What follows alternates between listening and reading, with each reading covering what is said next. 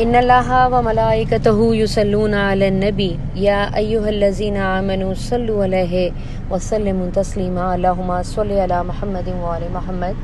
حضرت فاطمہ بنت اسد بن ہاشم سلام اللہ علیہ سرکار ختمی مرتبت کی چچی اور آپ کے والد بزرگار حضرت عبداللہ بن مطلب کی چچزاد بہن اور بھابی تھیں۔ حضرت فاطمہ بنت اسد ام المومنین جناب ختیجہ کے بعد وہ دوسری خاتون تھی جنہوں نے رسول اللہ پر ایمان لانے کا عوام کو بتایا، جبکہ ہاشمی خواتین میں وہ پہلی خاتون ہیں۔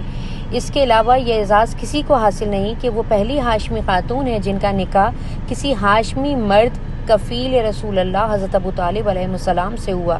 یعنی سادات ہاشمے کی خواتین کی، سادات ہاشمے کے مردوں کی شادی کا سلسلہ آپ سے جاری ہوا۔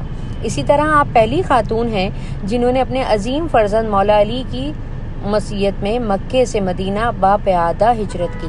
اصول کافی کی روایت کے مطابق امام جعفر الصادق علیہ السلام فرماتے ہیں، امیر المومنین کی والدہ ماجدہ فاطمہ بنت حسد پہلی خاتون تھیں جنہوں نے پا پیادہ مکے سے مدینہ رسول اللہ کی نیابت کی طرف ہجرت کی۔ وہ رسول اللہ کے نسبت نیک سیرت ترین خاتون تھیں۔ یہ اعزاز بھی آپ ہی کو حاصل رہا کہ آپ نے جن ہستیوں کی پرورش کی، ان میں سے ایک محبوب کبریا سید الانبیاء کہلائے اور دوسرے محبوب مصطفیٰ سید الاولیاء مولا کائنات علیہ السلام ہیں۔ یعنی آپ نے انبیاء کے سردار کو بھی پالا اور اولیاء کے سردار کی بھی پرورش کی۔ اس سے آگے چلیں تو آپ جنت کے جوانان سردار یعنی امام حسن اور حسین علیہ السلام کی دادی ہیں۔ جنت کی ملکہ سیدت النساء العالمین علیہ السلام آپ کی بہو ہیں۔ سادہ لفظوں میں کہوں تو جس ہستی پہ بھی دست شفقت رکھا، ان کی خدا نے کائنات کی تمام سرداریاں تقسیم کر دیں۔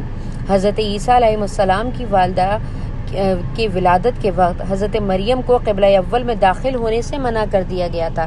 لیکن خدا نے آپ کے لیے قانون بدلا اور دیوار کعبہ شک ہو گئی۔ مولا علی علیہ السلام اس دنیا میں ظہور لائے۔ یہ معاوضہ اس طرف بھی اشارہ کرتا ہے کہ بعد از مصطفیٰ مولا کائنات کی بزرگ ترین دنیا کی بزرگ ترین ہستی ہیں۔ فاطمہ بنت اسد سرکار ابو طالب کی زوجہ ہونے کے ناطے رسول اللہ کی سرپرست رہیں۔ براہ راست شریک تھیں۔ پیغمبر اسلام کی نسبت آپ کی مہربانی اور شفقت اس حد تک تھی کہ جب آپ کا انتقال ہوا تو حضور نے فرمایا، آج میری ماں رحلت کر گئیں۔ آپ نے اپنا پیرہن بطور کفن آپ کو پہنایا اور آپ یہ قبر میں اترے اور لہد میں روتے ہوئے لیٹ گئے۔ اس موقع پر ایک صحابی نے کہا، اے رسول خدا، آپ اس قدر کیوں بے چین ہیں؟ تو آپ نے فرمایا، بے شک وہ میری ماں تھیں، لیکن وہ اپنے بچوں کو بھوکا رکھتی تھیں، مجھے کھانا کھلاتی تھیں۔ ان کے گرد آلو چھوڑ دیا کرتی تھیں اور مجھے نہلاتی، دھلاتی اور آراستہ کرتی تھیں۔ ہمارے لاکھوں، کروڑوں لامحدود درود و سلام ہوں رسول خدا پر، آپ کے خانوادہ رسالت پر اور ان پر جن کی جن کی سرپرستی بی بی فاطمہ بنت یاسد نے کی۔ شکریہ۔